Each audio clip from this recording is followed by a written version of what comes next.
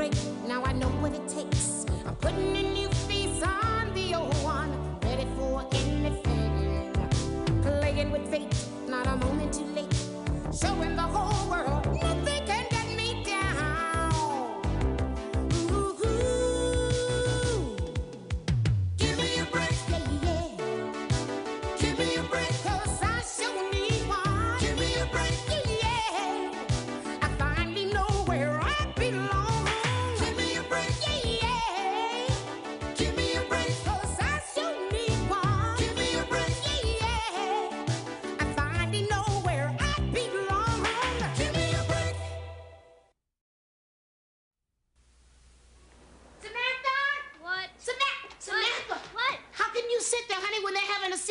department store? What are you talking about?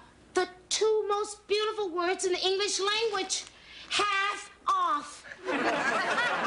Well, who cares about a sale? Samantha. Samantha.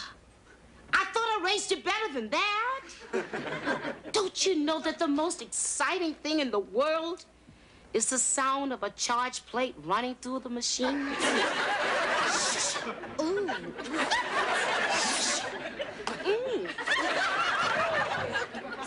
Really turn you on, don't they, Nell? Oh, like honey to a bee. Come on, we're buzzing over there. Come on. Uh, Nell, I can't. I'm going to Katie's apartment for dinner. You would rather eat than shop? Yeah. Wait a minute, Samantha. You're my favorite. I love shopping with you. Julie, my favorite.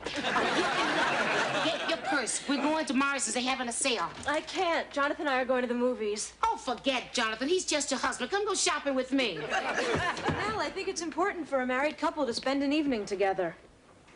You mean you would rather work on your marriage and go shopping with me? What kind of wife are you? No, really. I just don't want to disappoint Jonathan. Have a good time at the sale. Wait a minute, wait a minute, wait a minute. I got a better idea. Why don't we all go to the movies and we can all go shopping? See, it's open to midnight. It's a moonlight sale. And No. okay, go ahead. Save your rotten marriage. See if I can.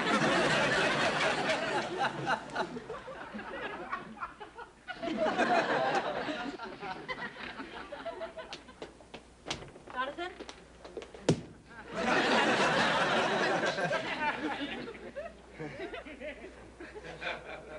I think I kind of hurt Nell's feelings. Oh, really? How? Well, I sort of didn't invite her to go to the movies with us. Movies? Yeah, you said we were going to go to the movies tonight. Oh, those movies. Luigi's Pizza, made from Italian cows. And goats. We're going bowling. No! No, this isn't a bowling jacket. It's for bocce ball. Luigi started a bocce ball league. I thought we were going to the movies. We are. We are. I was just practicing. There's a game tonight against Bunadecci's Fiats, but I said no. No, the old lady has me all night. What old lady? You. Me? The old lady? Oh, I get it, the little woman. That's right. That's right, my better half. The ball and chain. The missus. The former Mrs. Oh, come on, Julie. I was just kidding. You think Tom Hayden talks to Jane Fonda this way? I doubt it. I hear she doesn't have much of a sense of humor either. Jonathan! Come on, it's almost dark enough to back into the drive-in.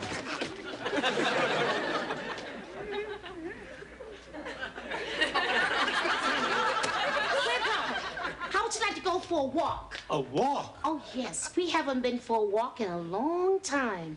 And I know a wonderful place. It's so beautiful. It's well lit. It's safe. It's flat. It's right in front of Morrison's department store. Cut And bait can- now. I am not going shopping with you. Grandpapa, please, please, I'm begging you. Oh, no. I'm going swimming with Eddie and Malcolm. Swimming? Yeah, last week we saw Cocoon, and we're going to see if the pool at the YMCA works. I don't need two people. I can just call Addy.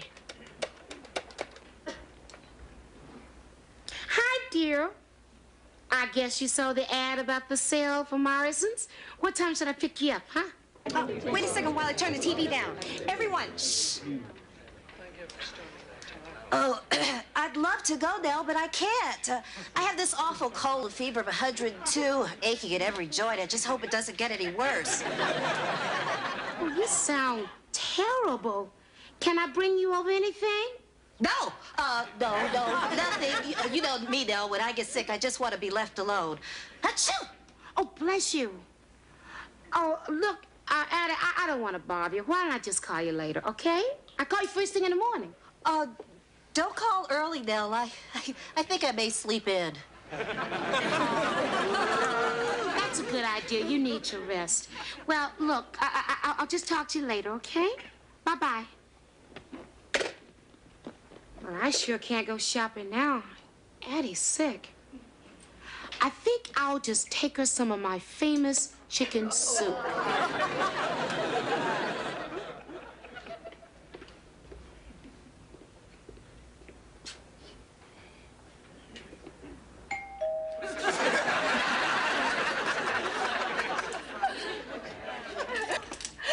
Nell, uh, what are you doing here? Well, I came over to bring you some soup for your cold. Oh, well, you're too late. As soon as I hung up with you, the antibiotics took effect, so I just jumped right out of bed. And into that dress. I, I can explain this. See, I, I felt so good when I got up that I decided to clean out all my closets and get rid of all the rags I haven't worn in a long time, like this whole thing. You're gonna have one on garage sale, aren't you? well, why don't we just put this on your stove in case you have a relapse?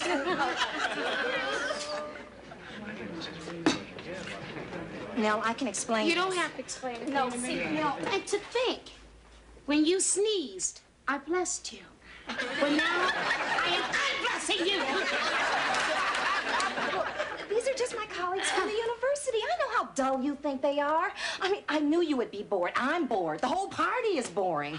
And to this day, that woman has no idea what happened to her shower cap. Oh, all right, Nell. I might as well tell you the truth. The real reason I didn't invite you to the party is Professor Landry is here. Professor Landry, that dirtball? He's not a dirtball. I mean, he has very high ideals and principles about his work, and he's the main reason I gave this party. You see, he may take a very important job at Columbia University, and if he does, he's taking me along as Dean of Education. That may be all well and good, Addy, but you lied. Now, it's the job of a lifetime for me. I mean, can you imagine me, a dean at a major university? No, it's like a dream come true. But But you lied to me. it's just a little white lie. Black people don't tell white lies. I just couldn't risk you being in the same room with Professor Landry. I don't know why. Just because he gave me a C when I deserved an A? No, because you threw a book at him. I was returning it. Now, look, I need him on my side. It's only because of my job. Oh, your job. Your job. Now I see. You can always get another best friend, but it's not every day that you get a job like this. But excuse me. No, come back here. I don't want to catch your cold. Somebody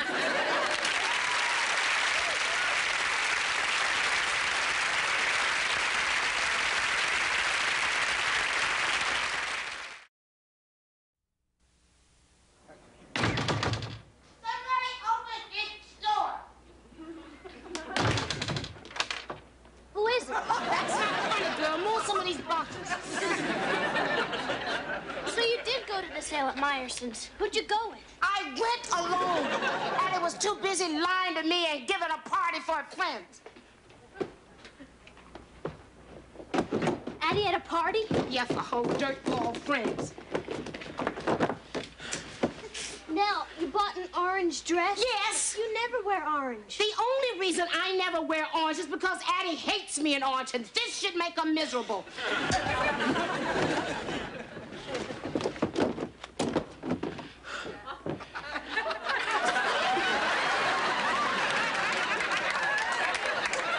well, it was on sale. I went all the way over to Addy's apartment because because she said she was sick. I took her some of my homemade chicken soup. The poor chicken who died probably never told a lie in her life.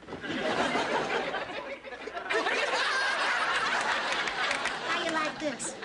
On you? Oh, get me some hangers. Never mind, I'll get them myself. Move. How was your swim, Grandpa? Not too good. The pool didn't work. Eddie needed oxygen, and they're keeping Malcolm overnight for observation. well, see, you got to the sale.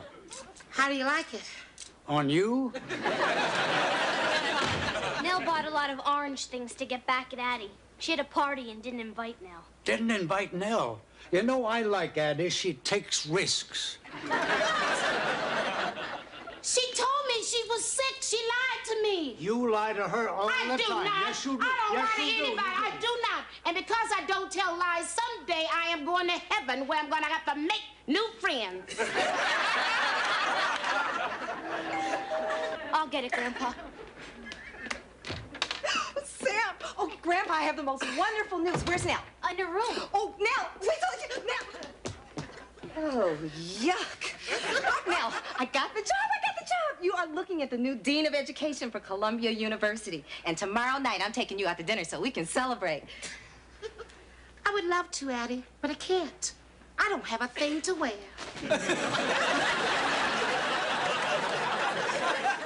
And that's all she wrote. Oh, it's so sweet of you all to give me this party. I'm really gonna miss you guys. By the way, where's Jonathan? And when is Nell gonna get here? Jonathan had to work late again. Uh, I think Nell had a class tonight, right, Sam? Uh, yeah, she did. She had a test. Hey, I'd like to propose a toast, huh? Addy, I. I don't know if I could go through with this. I feel like I'm losing a daughter. Of course, I'm not old enough to have a daughter. I mean, a daughter Addy's age, you know. But if I ever am, you're the kind of daughter I'd like to lose. All right, you guys for Addy, huh? For she's a jolly good fellow, for she's a jolly good fellow, for she's a jolly good fellow, which nobody can deny.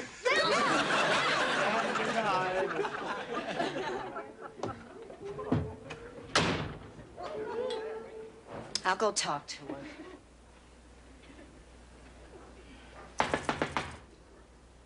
And just who might that be? It's me, Nell. Open the door. Just a minute.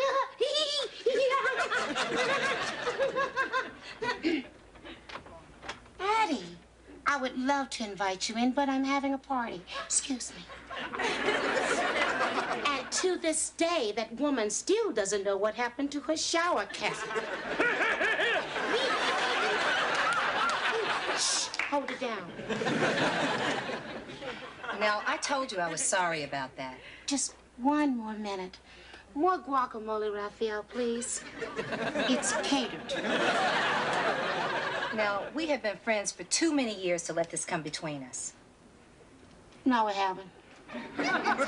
We are the same little girls who played dolls together, who cheated in school together, who watched the Mickey Mouse Club together. Remember how we used to rush home from school and put on our Mouseketeer ears and sing all those songs? You were always a lousy mouseketeer. I was a great Mouseketeer. You never had the heart of a mouseketeer. Just the claws. Well, we shouldn't be standing here arguing about the Mouseketeers. You were so right.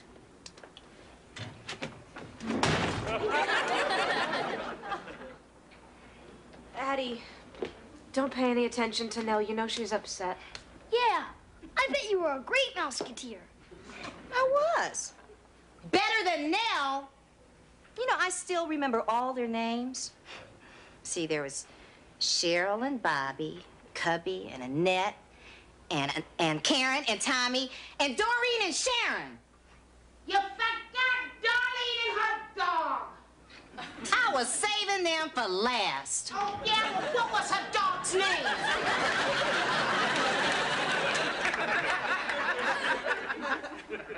White Shadow. Well, what was his middle name? Oh, Nell. Where'd you get that hat? Oh, good mouseketeers, save their ears. I was still a great mouseketeer. Oh, please.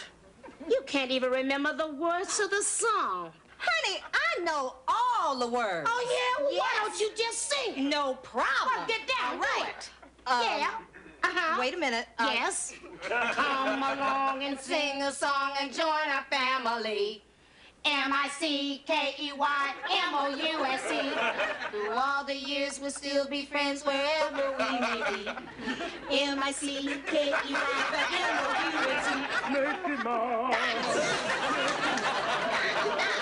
Forever let us hold our banner high. Now it's time to say goodbye to all our company. M-I-C. See you real soon. K-E-Y. Why? Because we like you. M-O-U-S-E.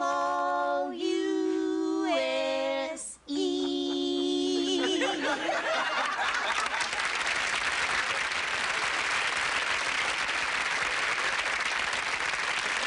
I never thought Annette Funicello would bring us back together. She didn't.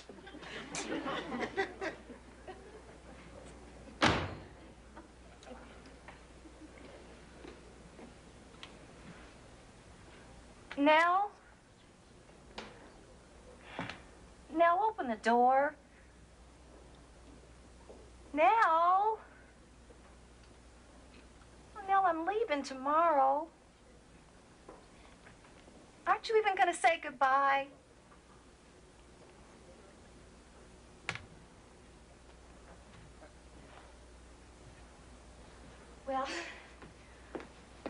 For the party, everybody. I'll give you a call as soon as I get to New York. I miss you. Miss you. Bye. You be good.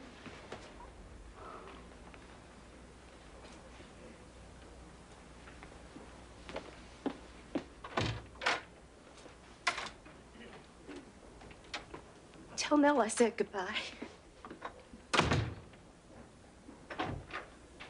Well, is that party animal gone? Simpson, what do you say we do the dishes? Good idea. You want to dry or drop? I'll drop. You drop last time. What a neat hat.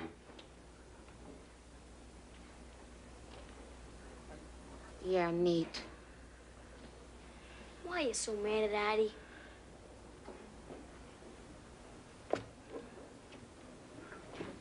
I don't know, Joey. Somehow it just doesn't seem important anymore. I bet you're gonna miss her.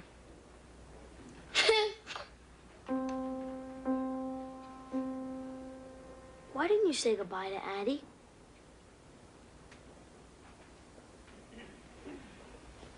Well, I guess I, I thought that if I didn't say goodbye, she wouldn't really leave. You know? Don't worry, Aunt Nell. She'll write you. I've seen her handwriting. It's real good.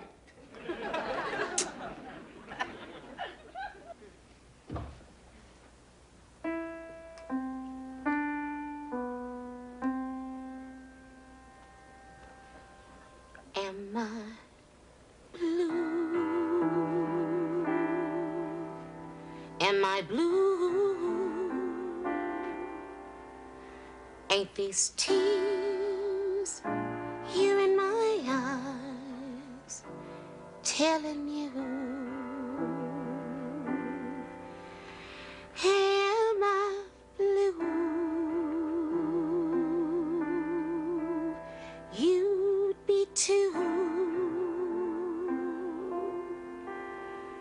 if your dreams and your plans done fell through. There was a time I was the only one But now. I'm the sad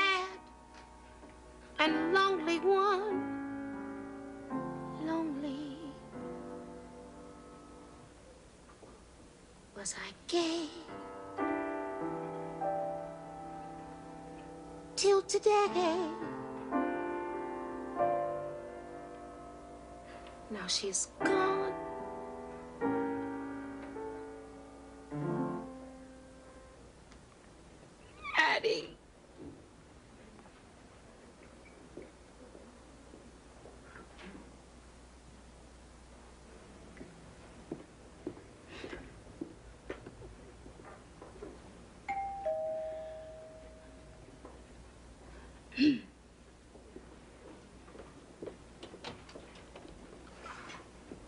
Now. Come in. What's the matter with you? What are you doing, Addy? Unpacking. Unpacking? Professor Landry called. He turned down the job at Columbia. Does that mean that you won't be leaving Glenlawn? You were right, Nell. He is a dirtball. Sold out all his high ideals and me along with him for a job at an oil company. Oh, Addy, I'm sorry. I, I really am. Are you? Why, of course. I know how much this job meant to you.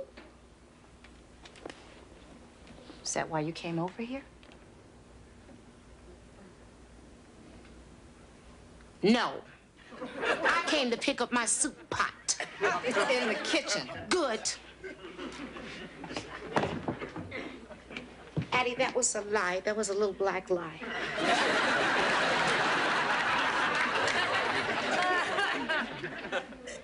Well, why did you come over? I came over here because.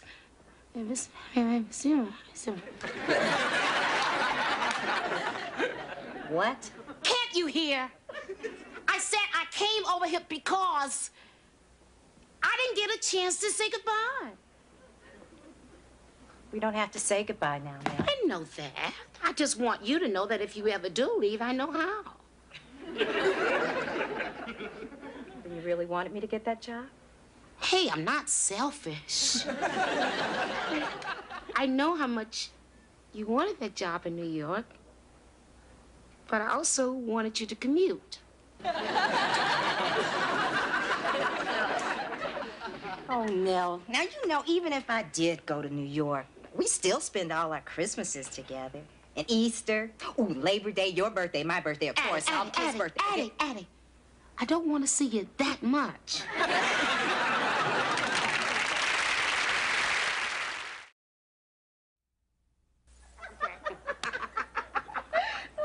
Hi, Aunt Nell. Hi, Addy. Hey, whoa, wait a minute. What's wrong with you? I've got a problem. Yeah, come over here, sit down, tell us. Oh, Joey. What's the problem? Well, I invited Linda Barker to the fourth grade picnic, but she told me your dad got a job in Seattle. Uh, I think Addy and I understand. We just went through something like that. Of course. And you're just upset because Linda has to move to Seattle. No, I'm upset because now she isn't moving. You see, your father turned down the job, and I've lined up two other girls for the picnic.